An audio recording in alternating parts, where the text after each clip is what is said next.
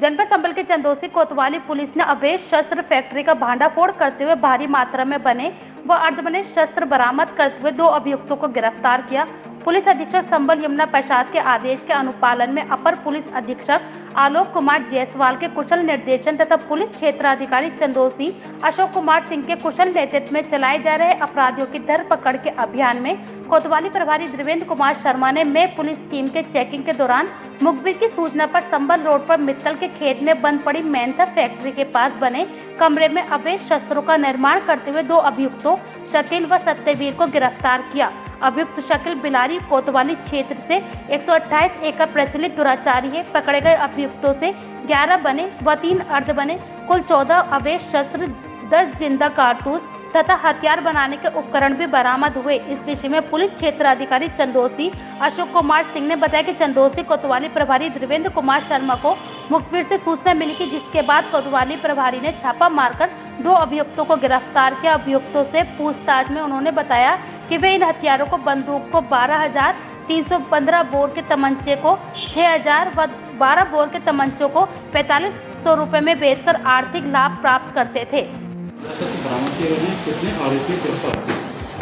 हैं, आज 15 तारीख को 15 नौ 2020 को S H O Devendra Kumar Sharma checking में थे। इसी दौरान इनको सूचना मिली कि कुछ लोग चंदौसी संभल रोड पे एक मित्तल जी का कोई खेत है वहाँ पे मैंथा फैक्ट्री का अ, बनाने की फैक्ट्री थी जो अभी समय बंद है उस कमरे में।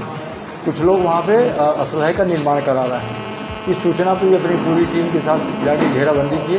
वहाँ पे जब इन्होंने छापा मारा तो वहाँ पे दो व्यक्ति नाजायज असलहा बनाने का काम कर रहे थे जिनके पास से कुल मिला के अधबने और बने मिला के तेरह असलहे बरामद हुए हैं और कुछ कारतूस भी मिले हैं।